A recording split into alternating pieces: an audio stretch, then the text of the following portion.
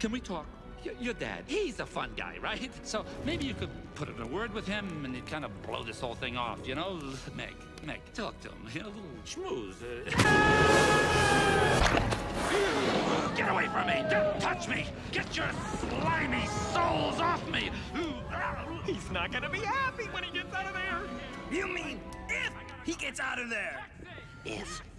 If is good. I don't feel so good. I, I feel a little.